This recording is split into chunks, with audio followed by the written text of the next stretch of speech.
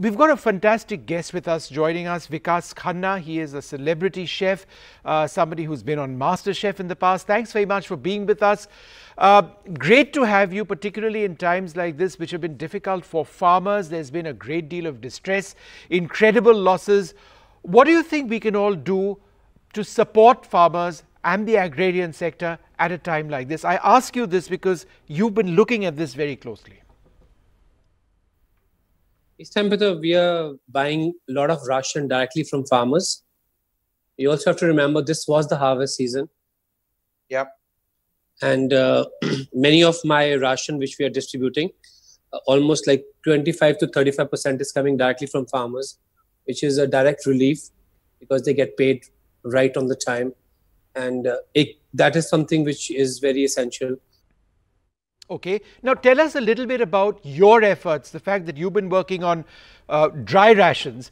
Uh, you've been feeding lakhs of people, in fact. That's helped farmers directly or indirectly. Tell us a little bit about your efforts in this regard.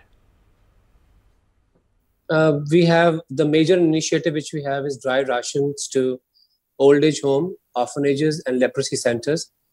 This one I started on May on uh, April 1st and then after that we started doing uh, cooked meals which is we have two kitchens one is in noida which serves ncr and the second one is in bombay which serves the greater bombay region in which every morning we do cooked meals which are packed and then they are delivered by N, uh, NRD, National Disaster Response Force, NDRF.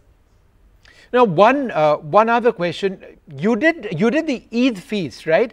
Across several cities, I'm told. How did you get this idea? It was a great idea. How did how did this how did it all happen for you? The Eid feast, the the big one was only in Haji Ali in, in Bombay, where we had uh, almost 200,000 meals, not people, and it was like everything was laid out, and people could bring bag and take as much as they want.